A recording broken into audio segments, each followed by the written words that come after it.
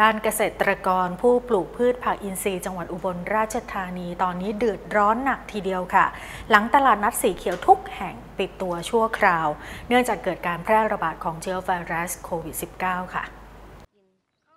ทุกวันหลังเลิกงานคนึงนุชวงเย็นผู้ก่อตั้งตลาดนัดสีเขียวกินสบายใจ และเป็นหนึ่งในเกษตรกรปลูกผักอินทรีย์ จะหันหน้าเข้าสวนผัก เพื่อเก็บผลผลิตและดูแลแปลงผัก เพราะนอกจากจะสร้างรายได้แล้ว ยังสามารถช่วยคลายเครียดได้คนึงนุชบอกด้วยว่าผลผลิตที่ได้นอกจากจะจำหน่ายให้ลูกค้าที่ติดต่อขอซื้อโดยตรงแล้ว ยังนำไปจำหน่ายที่ตลาดกินสบายใจ โดยผลผลิตที่ตนเองนำไปจำหน่ายให้ลูกค้า ส่วนใหญ่จะเป็นข้าวอินทรีย์และผักชนิดต่างๆ ส่งผลให้มีรายได้นอกเหนือจากการทำงานประจำเดือนละประมาณ 10,000 บาท แต่หลังจากมีการแพร่ระบาดของเชื้อไวรัสโควิด -19 ส่งผลให้ตลาดนัดสีเขียวปิดชั่วคราว 4 แห่ง ประกอบด้วยตลาดนัดสีเขียวกินสบายใจ ที่ห้างสรรพสินค้าสุนีชั้นจี ตลาดนัดสีเขียวกินสบายใจโรงพยาบาลมะเร็งอุบลราชธานี ตลาดกินดีอำเภอนาเยีย ที่เปิดให้บริการทุกวันพุธ และตลาดสร้างสุขคูเมือง โรงเรียนคูเมืองอ่อนอนุเคราะห์ เหลือเพียงหนึ่งแห่งที่ยังเปิดให้บริการคือ ตลาดนัดสีเขียวกินสบายใจห้วยบางนอง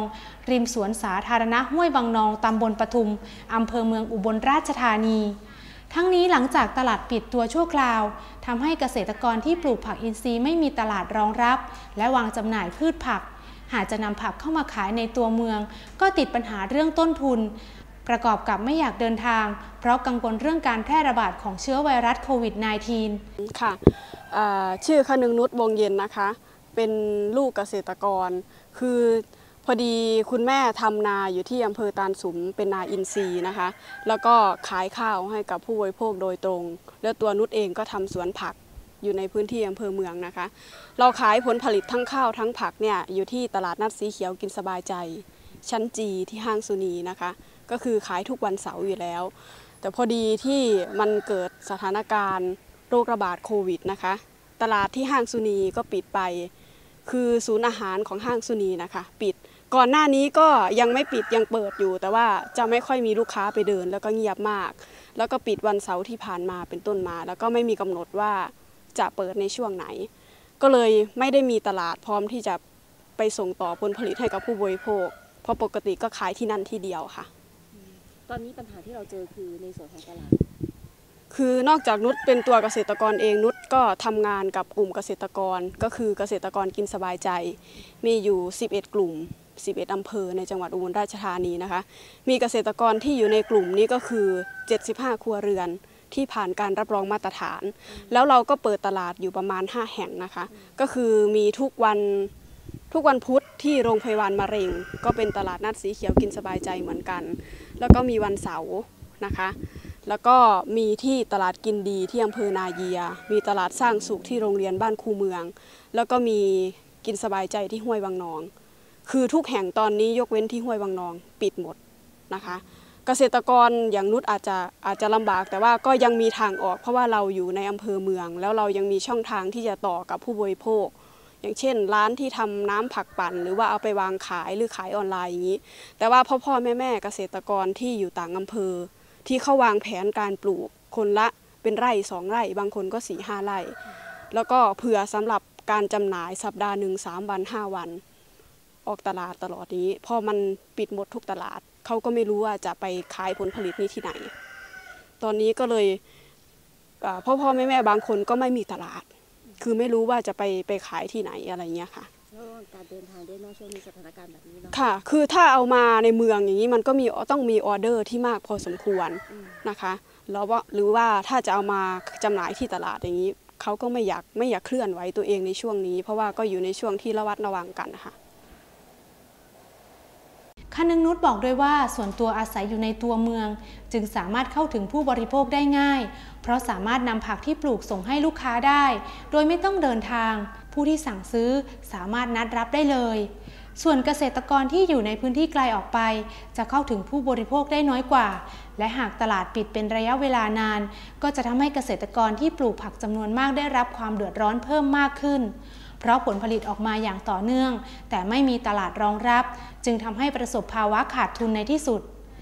ด้านทวัชชัยนนทสิงห์ผู้จัดการตลาดนัดสีเขียวกินสบายใจ และเป็นอีกหนึ่งเกษตรกรผู้ปลูกผักอินทรีย์บอกว่า ส่วนตัวปลูกผักปลอดสารมานานหลายปีแล้ว และมีพื้นที่ปลูกประมาณ 4 ไร่ ตลอดจนมีการสนับสนุนชาวบ้านในพื้นที่บ้านหนองเทาตำบลสำโรงอำเภอสำโรงจังหวัดอุบลราชธานี ให้หันมาปลูกพืชผักอินทรีย์ปลอดสาร ทำให้ปัจจุบันมีชาวบ้านสนใจหันมาปลูกพืชผักอินทรีย์ประมาณ 20 คน โดยชาวบ้านเหล่านี้มีการรวมกลุ่มกันอย่างเข้มแข็ง และมีการพัฒนาผลผลิตอย่างต่อเนื่อง เพื่อให้ผู้บริโภคได้รับประทานพืชผักปลอดสารส่วนของ Farm to Table เนี่ยจริงๆ คอนเซปต์ของเรานี่คือเราต้องการทำครัว แล้วก็เสิร์ฟให้กับผู้บริโภคถึงโต๊ะอาหาร แรกๆ เริ่มเราอยากทำเท่านี้เท่านี้เองนะฮะ แล้วก็สิ่งที่เราต้องการคือเราต้องการสื่อสารแหล่งที่มาของวัตถุดิบ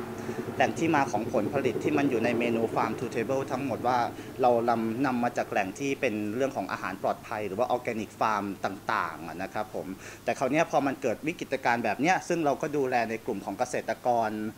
หลายๆกลุ่มของจังหวัดอุบลราชธานีของเราซึ่งก็ได้รับผลกระทบ